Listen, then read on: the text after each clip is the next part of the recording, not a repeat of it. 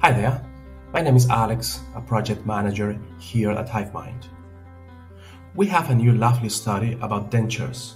We would like to know about the type of denture you use and your overall satisfaction with it.